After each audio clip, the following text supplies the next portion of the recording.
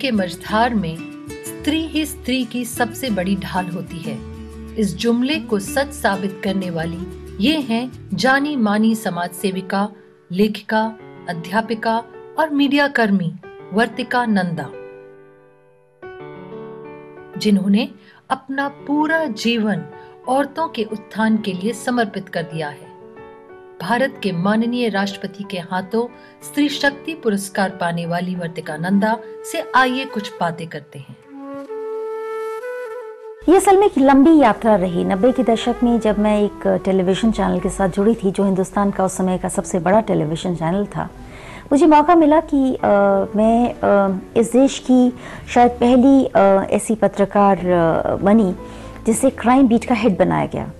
और उस दौरान कई घटनाओं ने मुझ पर काफ़ी असर डाला।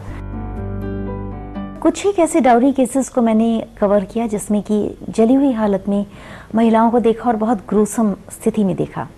दूसरा प्रभाव हुआ जब मैं पीएचडी कर रही थी और मैंने अपना विषय लिया coverage of rape cases by print media उस समय भी लगातार काम करते करते जिन विक्टिम्स को मैंने देखा, मुझे लगा कि हम जो देखते हैं और जो कहते हैं सच्चाई उससे बहुत आगे होती है। जब मैं कविताओं के संकलन पर काम करने लगी और किताब जब मैं छपने दे रही थी, मैंने ये महसूस किया कि मेरे चाहने या ना चाहने के बावजूद ज़्यादातर कविताएँ अपराध के आसपास की हैं और मैंने उसका नाम रखा थी हूँ रहूँगी। और तब इस कविता को मैंने लिखा, नानकपुरा, कुछ नहीं भूलता। इस फ़िल्म को बनाने के बाद जब मुझे बार बार देश भर से बहुत सी महिलाओं के फ़ोन आने लगे, चिट्ठियाँ आने लगीं। तब मुझे महसूस हुआ कि दर्द वाकई उससे भी कहीं ज़्यादा है जो मैंने महसूस किया था। मैं बार बार कोशिश करती रही कि फ़िल्म के ज़रिए या कविताओं के ज़रिए या अपने लेखन के ज़रिए। इस समाज की हर औरत को और हर एक ऐसे पुरुष को जो बराबरी पर कोई भी भरोसा रखता है या महिला पर हिंसा न करने पर भरोसा रखता है, उन लोगों को जोड़कर किसी हिम्मत के एक माहौल को बनाया जाए। कहने को 498 ए है, कहने को डोमेस्टिक वायलेंस एक्ट है।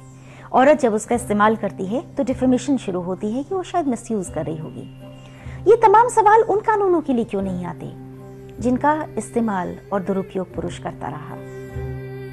और क्या कोई पॉसिबिलिटी है? क्या सरकार ये इंश्योर कर सकती है कि जो विक्टिम्स हैं, उन्हें मेन स्ट्रीम में लाया जाए?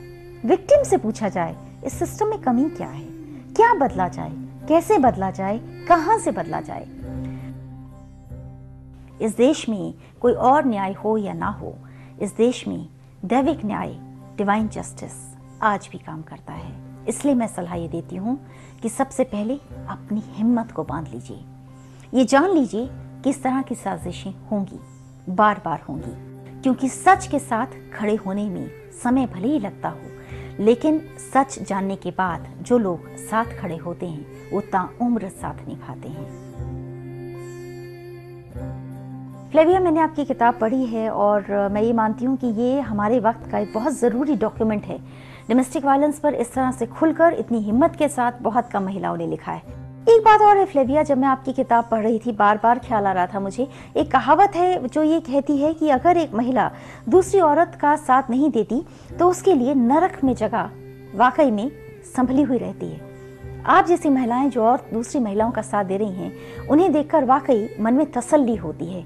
क्योंकि अगर हर तीसरी औरत पीड़ित है तो बाकी दो महिलाओं का ये काम बनता है कि वो उनका साथ दें। और जो लोग इस प्रोग्राम को देख रहे हैं, जो पुरुष इस प्रोग्राम को देख रहे हैं, मैं उन पुरुषों को सलाम करना चाहूँगी, जिन्होंने आगे बढ़कर महिलाओं की हिम्मत को वाकई बढ़ाया है। ऐसे पुरुषों की कोई कमी नहीं, जिन्होंने अच्छे मन से, अच्छी नियत से अपने साथी को सम्मान भी दिया और अपने साथी को वो जगह भी दी जिसकी वो हकदार हैं। इसलिए आपके लिए कुछ एक पंक्तियाँ। जुबा बंद है, पलकें भीगी। जुबा बंद है, पलकें भीगी। सच मुट्ठी में पढ़ा आसमान में। इसके बावजूद मैं अपने पंख खुद बनूँगी। इसके बावजूद मैं अपने पंख खुद बनूँगी और कहूँगी, मैं थी, मैं हूँ और मैं हमेशा रहूँगी।